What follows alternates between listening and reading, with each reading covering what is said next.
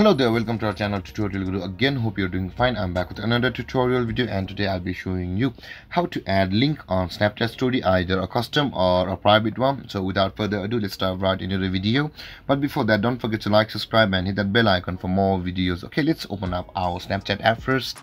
After that uh, in order to link a snapchat or add a link to your snapchat story you first must take a snap. Let's take a picture of my laptop and after that you can see the all these options at the top right corner of your phone. Uh, we need to select or tap on the third one which is the stickers option.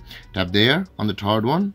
And after that you can see all these options up here. But on the second row of options you can see the story option at the last of it just below the smiley. Tap on the story and after that you can see a custom story and a private story option pop out. So basically custom story says anyone who joins can contribute and a private story says only i can contribute. So i want to add a custom story for this story so i will not be doing the private but the process are same for both of these. So let's add a custom story and just name of name the story.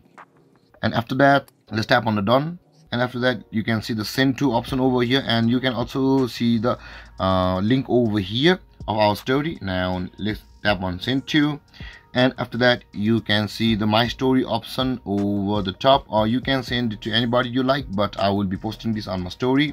Since we are linking a snapchat story on our snap so tap on my story. And let's post it. And you can see the added to story has appeared. And let's go to our story. And you can see the sticker over here the link over here. And there guys this is how you add a link to your snapchat. And if you have any confusions or questions regarding the topic don't hesitate to comment in the comment section below. And don't forget to like subscribe and hit that bell icon for more videos. Thank you for watching guys. Peace